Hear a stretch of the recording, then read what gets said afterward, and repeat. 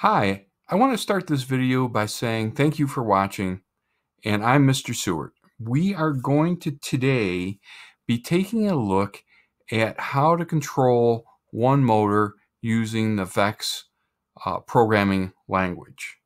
So the first thing you need to do, and I'm going to go to my uh, VEX programming, is you're actually going to go and hit Open File and select the PLTW template that you're going to find in the student share folder that has my name on it that is uh, inside of sim. Sim is inside of my name.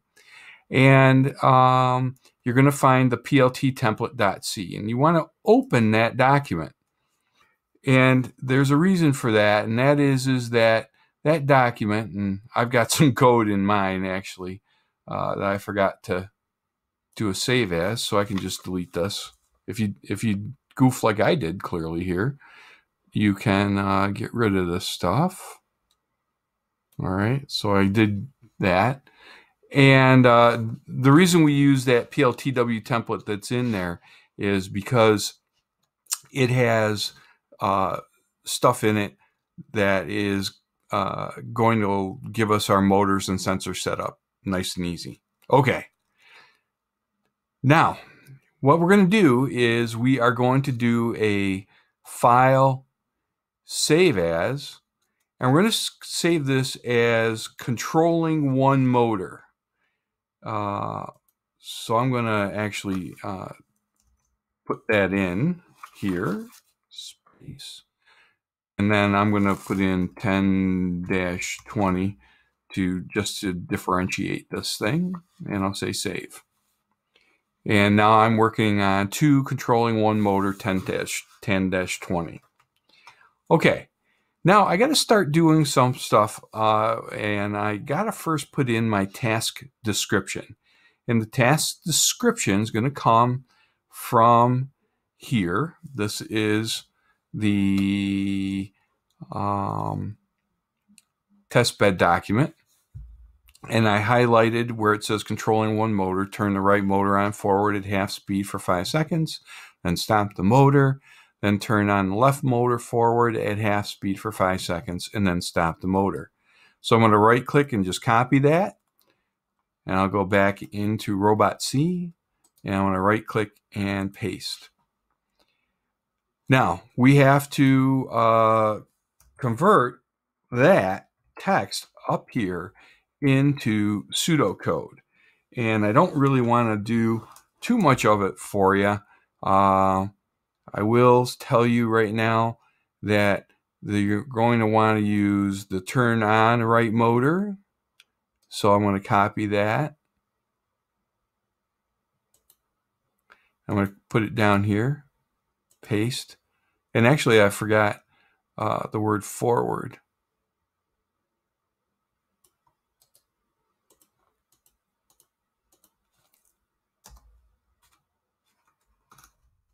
There we go. Turn on the right more motor going forwards. And uh, basically, I'm going to create the pseudocode that I have. Where is he? Right here. All right. So uh, I'll show you the first few lines of this. I'll get this out of my way. There we go. Pseudocode. So right motor on forward at half speed wait five seconds, stop right motor. So that's to do the stuff for the right motor. So I'm just gonna I'm gonna copy this because I'm gonna be I'm gonna be a little efficient here. Copy, and I'll go back here, and I'm gonna paste this in. Now, you're going to need to write the pseudocode that takes care of this line that says turn left motor on forward at half speed for five seconds, then stops the motor. So it's the same thing, but just instead of right motor, it's going to say left motor. So you can just copy and paste this. Let's skip uh, skip past that now. I'm going to actually do a little bit of the coding. So I'm going to right click and copy my pseudocode. Then I'm going to paste it down here two slashes. And now I need to start actually adding code. So it says right motor on forward at half speed. So I'll go to natural language, movement, and this is going to be start motor. It's going to come right here. Okay. Wait five seconds.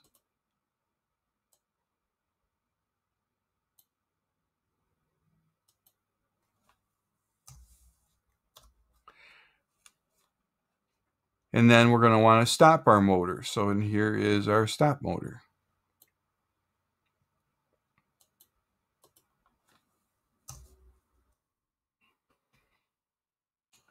Now we got to start filling in this information here. So it says start motor and we want this to be the right motor. So I'm going to go to my motors and sensor setup and I'll go to the motors tab and right motor is port 2 but it just the name the name of it is right uppercase M O T O R. So I'm going to type that right here where it says motor port. So I'm going to put in right uppercase M O T O R. The speed it's supposed to be at half speed. So half of 127 is approximately 63. Now the wait time is five seconds because it's going to run for five seconds. So wait time changes to a five. And then I'm going to stop the motor on right motor. And I'm going to purposely goof here. I want to show you something. R-I-G-H-T-M-O-T-O-R.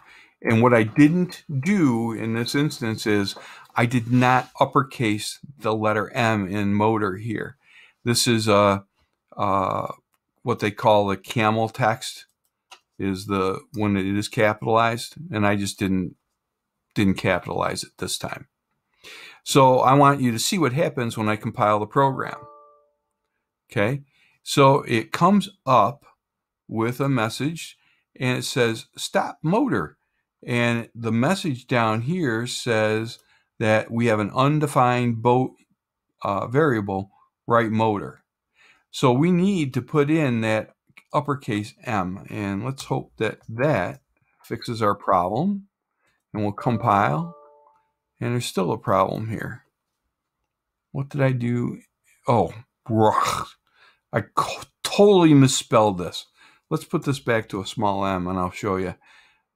See RU? It has to be RI. Right motor. Okay, now we'll compile it. And this is the result I wanted. I guess it's kind of good that you actually got to see the, the screw up with the red text, the red X.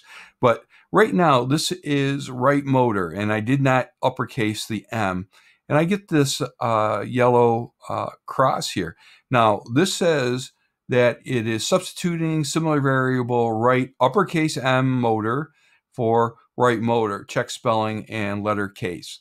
So it's telling me that this motor, this M, is not an uppercase letter. This would run if we were to download it to the robot. But anyways, so I've just written these three lines of code and I compiled it. And if I had my robot hooked up, I'd hit download the robot and have it run just to uh, double check it. Now, your job is to put in the part of this for the left motor, the second part of this task. Turn the left motor on forward at half speed for five seconds and then stop the motor. Once you have that done and it's running correctly, show it to me and I will check that off for you.